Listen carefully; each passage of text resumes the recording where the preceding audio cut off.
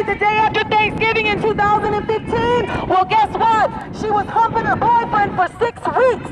I called Long County. She didn't even get a marriage license until December 31st, 2015. Huh? She was fornicating for six weeks because Denis told her to. What about it? What about it, people? What about the truth? What about the truth? Call Long County. The phone number is 912-545-2131. 912-545-2131. Ask them when you want to look up a marriage license. Anthony Alone, huh? Tamara Escudero. They didn't even get a license for six weeks. And then they so-called got married that same day. But guess what? They were uh, humping in, in Savannah because Denis told them, Abba, Abba Yahweh marries you. Go have sex. That's what he told them. And guess what? That makes them fornicators.